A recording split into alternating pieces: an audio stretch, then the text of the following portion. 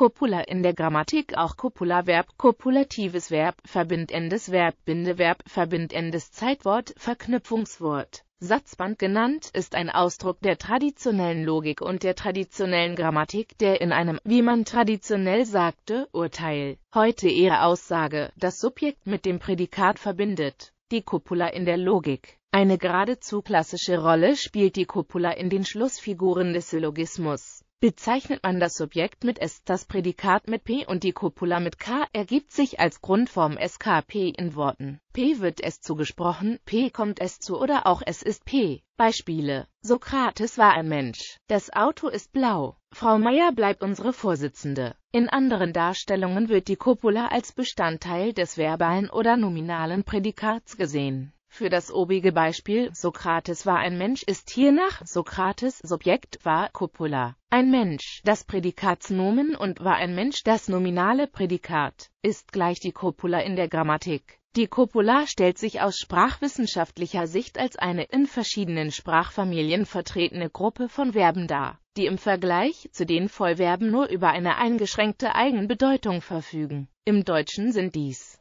sein, werden, bleiben, erscheinen USW. Durch ihre Stellung zwischen den Hilfsverben und den Vollverben nehmen die Kopularverben vor allem eine grammatikalische Funktion ein. Sie verbinden das Subjekt eines Satzes mit einem Nomen im Nominativ oder einem Adjektiv in einer nicht flektierten Form. Im Zusammenwirken mit dem Nomen bzw. Adjektiv bilden sie das Prädikat eines Satzes. In folgenden Formulierungen fehlt ein direktes Wort für die Copula. Obwohl einem Subjekt ein Prädikat zugesprochen wird und die Copula natürlich in der Formulierung verborgen ist. Sein Gesicht färbte sich rot vor Wut. Sie gab niemals auf. Die verschiedenen Sprachen werden einmal von der Linguistik, zum anderen von Logik, formaler Logik, Methodologie und Wissenschaftstheorie untersucht. Eine zentrale Rolle nimmt die Copula auch in der Definitionslehre ein. In der Spätphilosophie des deutschen Wissenschaftstheoretikers Paul Lorenzen wird auch die durch Pi symbolisierte Tat-Kopulatur zugelassen.